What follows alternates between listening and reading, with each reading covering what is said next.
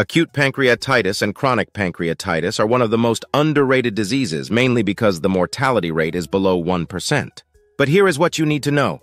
When pancreatitis is untreated or not diagnosed on time, there is a risk of severe complications like necrotizing pancreatitis or pancreatic cancer. This can push the mortality rate to 30 to 40%. That is why in this video we will be talking about the symptoms of chronic or acute pancreatitis that you need to watch out for as well as the complications. I encourage you to sit tight and watch to the end because this video might save your life or the life of someone close to you. And do not forget to like and subscribe. Hi, if you are new to my channel, I am V and welcome to the Best Health channel on YouTube where we talk about everything related to your health and well-being. Before we go on to the signs and symptoms, let's briefly explain what pancreatitis is, as well as the causes to those who don't know. Pancreatitis is an inflammation of the pancreas, a vital organ that sits behind your stomach and plays a crucial role in digestion and regulating your body's sugar levels. When the pancreas becomes inflamed, the enzymes that should only be active in the small intestine start attacking the pancreas itself. This can lead to a spectrum of symptoms, ranging from mild discomfort to severe, life-threatening complications. But what triggers this internal battle? Let's find out. The causes of pancreatitis can vary, painting a complex picture of risk factors. Some of the most common culprits include gallstones, which can block the flow of digestive enzymes, heavy alcohol use that toxically affects the pancreas, certain medications, and genetic predispositions. Additionally, abdominal surgery, smoking, and high levels of triglycerides in the blood can also play significant roles in the development of this condition. Now we'll go into each symptom one by one, detailing their onset, sensations, and characteristics. Upper abdominal pain. The journey into the symptoms of pancreatitis begins with its most common herald, upper abdominal pain. Patients often describe this pain as a sudden, severe pain that radiates to the back. It can feel like a gripping or gnawing sensation that makes finding a comfortable position almost impossible. This pain may intensify after eating, especially meals high in fats. Next, we have nausea and vomiting. Following closely is the symptom of nausea and vomiting. It's not just your typical upset stomach. This nausea is persistent and can be accompanied by vomiting, offering little to no relief. It's a sign that your body is struggling to cope with the inflamed pancreas. And of course, fever. As the body's response to inflammation, fever can also make an appearance. Though it might seem mild, it's a signal from your body that an internal battle is ongoing. Rapid pulse is another sign of inflammation. Another red flag is a rapid pulse. As the body tries to fight the inflammation, you might notice your heart beating faster than usual, a symptom that should not be ignored. Jaundice, this is a hallmark of liver, gallbladder, and pancreas disease. If you have jaundice, just know that one or more of those is in serious trouble. Jaundice, characterized by the yellowing of the skin and eyes, can also occur. This happens when the bile duct becomes blocked, preventing bile from exiting the body and leading to a buildup of bilirubin, but let's talk about the signs and symptoms of jaundice and pancreatitis as it can be different from the jaundice of the liver or gallbladder. Yellowing of the skin and the whites of the eyes, sclerae, dark urine due to excess bilirubin being excreted through the kidneys, pale stools as bile cannot reach the intestine to give stools their normal color, itching because bile products deposited in the skin may cause irritation. Jaundice associated with pancreatitis often indicates a severe or complicated course of the disease. It requires careful evaluation to determine the exact cause of the bile duct obstruction and appropriate treatment to relieve the obstruction and manage the pancreatitis. Treatment options may include endoscopic procedures like ERCP, endoscopic retrograde cholangiopancreatography, to remove blockages or surgery in more severe cases. The development of jaundice in a patient with pancreatitis is a significant clinical finding that can impact the prognosis and management strategy. It is crucial for healthcare professionals to monitor for signs of jaundice and other complications in patients with pancreatitis to ensure timely and effective treatment. Next is weight loss and malnutrition. As expected, at the beginning, I told you the pancreas has a role in digestion as it produces enzymes that digest and break down the three main food components, especially carbohydrate.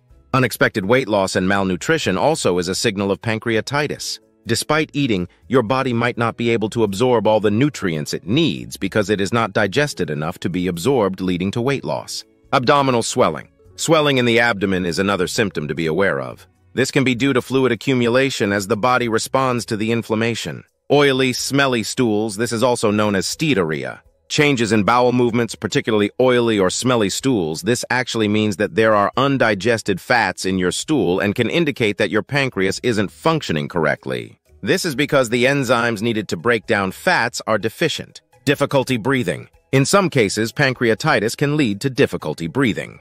This can occur if the inflammation affects the chemicals in the blood, altering normal breathing patterns. If diabetes is not included, then it is not pancreatitis. Long-term inflammation of the pancreas can also lead to diabetes, specifically a type of diabetes called type 3C. This happens when the insulin-producing cells are damaged, leading to unregulated blood sugar levels, internal bleeding and low blood pressure. In severe cases, pancreatitis can cause internal bleeding and low blood pressure, signs of complications that require immediate medical attention. And this leads us to the clinical findings in pancreatitis known as Cullen's and Turner's signs. Cullen's sign and Turner's sign are both physical findings that can be associated with severe acute pancreatitis, particularly when the inflammation or associated bleeding is extensive. They are considered ominous signs, indicating severe pancreatic disease and possibly other complications like pancreatic necrosis or hemorrhagic pancreatitis. Both signs are related to the spread of pancreatic enzymes and fluids, leading to discoloration of the skin in specific areas. Cullen's sign. Cullen's sign is characterized by the appearance of bluish or purplish discoloration around the umbilicus, belly button. This sign occurs due to the tracking of blood along the peritoneal planes from the inflamed pancreas to the subcutaneous tissue around the umbilicus. The discoloration is caused by hemoperitoneum, blood in the peritoneal cavity that is tracked from the site of pancreatic inflammation or rupture. The presence of Cullen's sign suggests intra-abdominal bleeding and is a grave sign indicating severe pancreatitis with a poor prognosis. Turner's sign. Turner's sign consists of bluish or greenish discoloration of the flanks, the side areas of the body between the last rib and the top of the hip. Like Cullen's sign, Turner's sign indicates severe acute pancreatitis with retroperitoneal or intra-abdominal bleeding. This discoloration occurs due to the seepage of blood-stained fluid along the fascial planes to the skin of the flanks. The presence of Turner's sign is also associated with a more severe course of the disease and indicates a significant risk for complications. Both Cullen's and Turner's signs are relatively rare, and their presence indicates a severe and potentially life-threatening condition requiring immediate medical attention. These signs may not develop immediately but can appear several days after the onset of acute pancreatitis or abdominal trauma. Their identification is crucial for the clinical assessment of the patient, as they are indicative of significant underlying pathology and necessitate aggressive management and investigation to address the root cause and prevent further complications. With that, we can talk about what happens when pancreatitis is not diagnosed on time or treated on time, in other words, the complications of pancreatitis. Chronic pancreatitis is a long-standing inflammation of the pancreas that leads to permanent structural damage. This condition can cause a variety of complications due to the progressive loss of pancreatic function, fibrosis, and the formation of calcifications within the pancreas. Let's look at the top five complications. Pancreatic insufficiency. Pancreatic insufficiency occurs when the damaged pancreas can no longer produce enough digestive enzymes to properly digest fats, proteins, and carbohydrates. This deficiency leads to malabsorption and maldigestion, primarily because the enzyme-producing cells, acinar cells, are replaced by fibrous tissue. This leads to conditions like steatorrhea, fatty oily stools that are foul-smelling and may float due to fat malabsorption, weight loss and malnutrition due to the malabsorption of nutrients, vitamin deficiencies, particularly of the fat-soluble vitamins A, D, E, and K due to reduced fat digestion and absorption, Diabetes mellitus type 3C diabetes? Chronic pancreatitis can lead to the destruction of islet cells, which produce insulin, resulting in impaired glucose control. This specific form of diabetes related to pancreatic disease is often referred to as type 3C diabetes. This can lead to many complications like hyperglycemia, high blood sugar levels due to insufficient insulin production, increased risk of diabetes complications, including neuropathy, retinopathy, and cardiovascular disease due to the complexity of managing diabetes in the context of pancreatic insufficiency. Pseudocysts development. Pseudocysts are fluid-filled sacs that form in the pancreas or surrounding tissues as a result of chronic inflammation. They are called pseudo because they lack an epithelial lining. These cysts form when pancreatic ducts are damaged or blocked. leading to the accumulation of pancreatic juices outside the pancreatic ductal system. They can lead to abdominal pain due to the pressure exerted by the growing cyst on nearby organs. Infection and rupture. Pseudocysts can become infected or rupture, leading to peritonitis, a potentially life-threatening condition.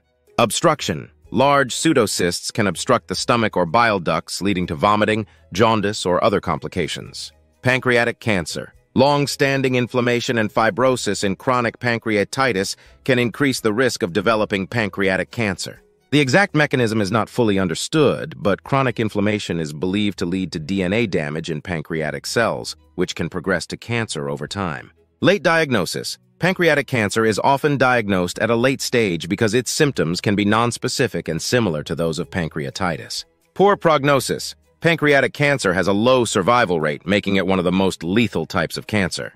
Watch my video on pancreatic cancer to learn more about it. Bile duct or duodenal obstruction. The inflammation and fibrosis of the pancreas can extend to nearby structures such as the bile duct or duodenum. When the fibrotic tissue compresses these ducts, it can lead to obstruction. Consequences may include jaundice, due to bile duct obstruction leading to the buildup of bilirubin, gastric outlet obstruction. If the duodenum is obstructed, it can lead to vomiting, weight loss, and malnutrition. Managing chronic pancreatitis involves treating the symptoms, managing complications, and addressing lifestyle factors, such as alcohol consumption and smoking, that can exacerbate the condition. Early diagnosis and management are crucial to prevent or mitigate these complications. In conclusion, chronic pancreatitis is a complex condition that significantly impacts the lives of those it affects. It not only challenges patients with its painful symptoms, but also poses the risk of serious complications, including pancreatic insufficiency, diabetes mellitus, pseudocysts, pancreatic cancer, and obstructions of the bile duct or duodenum. Understanding these complications and how they develop underscores the importance of early diagnosis, comprehensive management, and lifestyle modifications to manage the disease and improve quality of life. I hope this deep dive into the complications of chronic pancreatitis has been informative and enlightening. Living with or managing chronic pancreatitis requires ongoing care and vigilance, but with the right support and medical guidance, individuals can lead fulfilling lives. Thank you so much for watching and staying with us till the end. Your engagement and curiosity about health topics drive us to bring more insightful content your way. If you found this video helpful, please give it a like to let us know. And if you haven't already, subscribe to our channel for more updates and information on a wide range of health issues. Your support helps us grow and continue providing valuable content. Don't forget to hit the bell icon so you won't miss any of our future videos. Thank you once again for watching, and remember, taking care of your health is the first step towards a happy and fulfilling life.